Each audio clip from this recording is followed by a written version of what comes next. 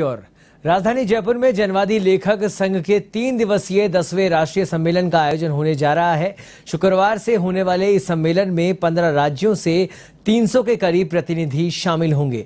इस सम्मेलन की शुरुआत गांधी सर्किल से इंदिरा गांधी पंचायती राज व ग्रामीण विकास संस्थान सभागार तक अभिव्यक्ति की आज़ादी की रक्षार्थ रैली निकालकर की जाएगी, जिसके बाद सम्मेलन के उद्घाटन सत्र को प्रख्यात मानवाधिकार कार्यकर्ता प्रोफेसर राम पुनियानी वरिष्ठ पत्रकार पी साईनाथ, प्रोफेसर आनंद कुमार सहित कई वरिष्ठ लोग संबोधित करेंगे।